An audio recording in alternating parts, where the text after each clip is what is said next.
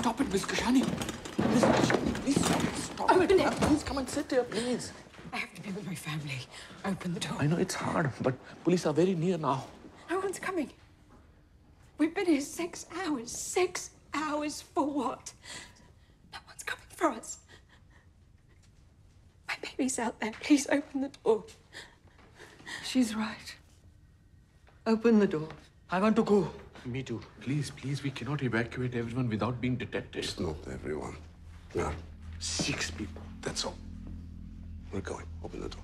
Sir, if they hear us going, we will all die. They know we are here. If they come back, we all die. If they block the building, we die. If we leave, maybe we die. We take our chances.